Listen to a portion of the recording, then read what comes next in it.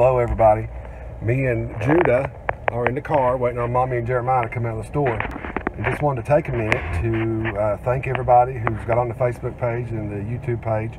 Wanted to let you guys know that there's going to be some more upcoming videos coming, and beginning Monday, we're going to start some discipleship and some teaching uh, on online. So everybody be prepared for that. We're just giving a few days for people to get online.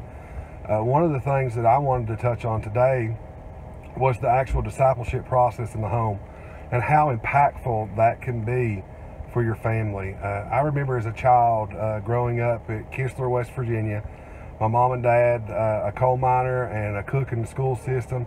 I remember every day hearing them pray over me.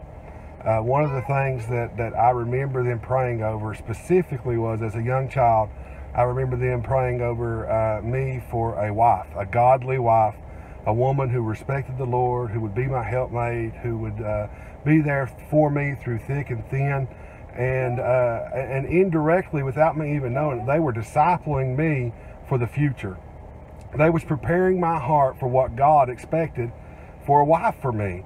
And you know, I look back on that, and, and I never, I never thought of it until we, me and Shauna was discussing this the other day.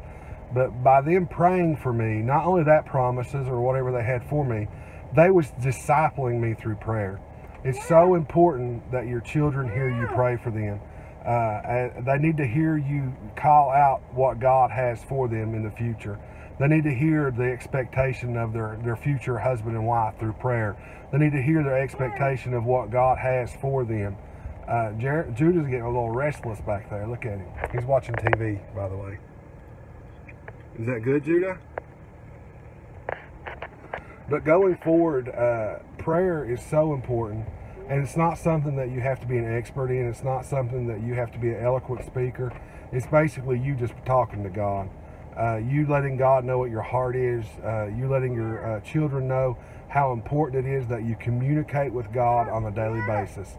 Uh, I can remember every evening uh, we would sit down in the living room of our home and we had the old wooden armed furniture with the cushions on it and the coffee table that way and, and, we would sit down and mom and dad would read a chapter of the bible to us.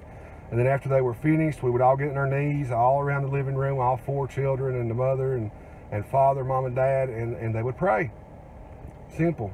You know a lot of times i would think man are they ever going to get done?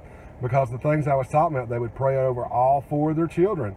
They just didn't give a generic prayer but they spoke each of our names and the things that they had that they felt god had for us in the future so let me encourage you as we go forward uh, in the discipleship process, take time to pray over your children, not just in your private time, but audibly over your children, that they hear the words that God has you speak over them. Uh, it, it's something that will last with them a lifetime. I'm, I'm a, a, young adult now, or mid, middle-aged adult now, should I say. Uh, I'll be 41 later this week. And you know, I remember those prayers.